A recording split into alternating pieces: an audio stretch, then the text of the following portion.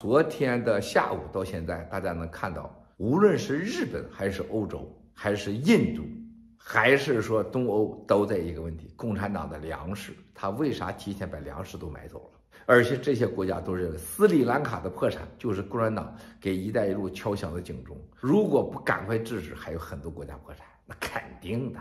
而且共产党现在内部所谓的二十大前打得你死我活，有跟这个王毅特别好的人啊，说跟王毅见面，王毅跟人家说：“哎，哥们儿，你得替我干点事儿啊！如果我进了中央委员，管外交，以后咱们这事儿都好办。”这个国家的外交部长就给总统都说了啊，总统也说坚决支持王毅。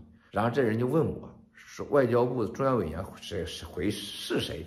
我说：“十之八九还是王毅。王毅太摸准习近平的脉了。”啊！你是神，没有习近平，没有如来佛，没有习近平，没有中国共产党，没有习近平就没有中国的未来。只有习近平能收复台湾，拿回香港，然后干掉美国，那一定是王毅吗！啊，希望他们继续这样下去啊！非常好，非常好。